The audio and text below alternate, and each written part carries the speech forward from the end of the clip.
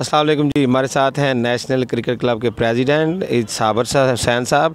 इनका बेटा जो कि साब, अली साबर जो कि इस टूर्नामेंट में भी खेला जाज फ्रूट सेकंड क्लब क्रिकेट चैम्पियनशिप में। हम इनसे पूछेंगे कि आपने इस टूर्नामेंट को किस तरह का आपके नज़र में ये टूर्नामेंट कैसा है? जाज फ्रूट की ये जो काविश है, ये कैसी है? जी बिसमीम मैं ये समझता हूँ कि इस तरह के टूर्नामेंट फैसलाबाद में होने चाहिए, जो कि एजाज फरूख साहब की बड़ी काविश है ये। जो फ्री ऑफ़ कॉस्ट में ये टूर्नामेंट फैसलाबाद में करवाया तकरीबन मेरा ख्याल आलमोस्ट एटी फोर क्लब्स का।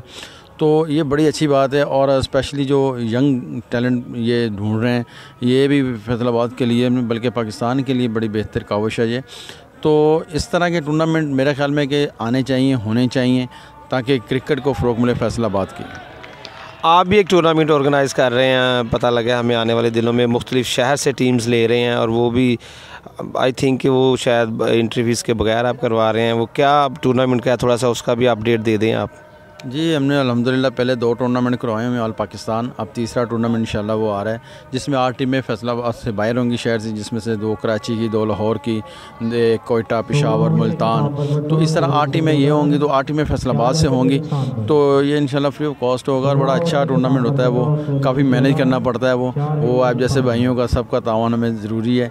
तो इन ताला वो हमारा जो मार्च में ये टूर्नामेंट होगा ताकि मौसम ज़रा अच्छा हो जाए उसके क्वार्टर फाइनल सेमीफाइनल फाइनल जो लाइटों में होंगे, साइका अकेडमी में इन जी, अब हमें अपडेट भी कर दें आप अली बेटा, जो कि पेशावर ज़िलमी की तरफ़ से भी सिलेक्ट हो चुका है ट्रेनिंग को जारी किया हुआ है और अल्हम्दुलिल्लाह वो जो नया कोई इवेंट आ रहा है, उसकी तैयारी कर रहा है।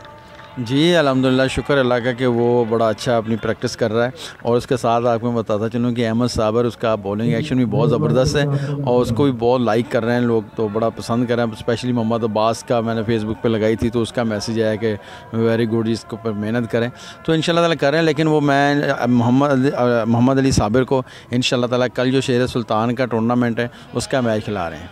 माशाल्लाह जी, देखें, ये साबर भाई की बड़ी अच्छी कोशिश है अपने बच्चों के लिए भी, दूसरे बच्चों के लिए भी। हम इनकी अकेडमी में गए हैं, जो साइका के नाम से है, Saeed Ajmal international cricket academy वहाँ पे भी हर बच्चों को इन बहुत अच्छा मयारी प्रैक्टिस देते हैं। वहाँ पर बड़ी अच्छे अंदाज में ये उनको ट्रेनिंग देते हैं और पीसीबी के जो अच्छे कोचेज़ हैं, वो वहाँ आकर उनको गाइड करते हैं। ये अली साबर भी, अहमद साबर भी, और भी बहुत से बच्चे इनके प्लेयर्स जो वहाँ पर तैयार होते हैं। ग्रास रूट लेवल पर ये बच्चों के मैचेस भी कराते हैं। कोई फ़ीस नहीं उनसे लेते और उनके गायब गायब मैचेस होने से उनमें जो है शौक़ और बढ़ता है और अपनी कमज़ोरियों को दूर करने का पता लगता है।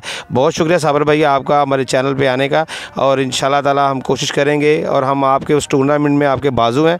जो आप हमसे कहेंगे हम आपके साथ तैयार हैं। अलहमदिल्ला हम उसको ज़रूर कामयाब करेंगे जी। अल्लाह हाफिज़।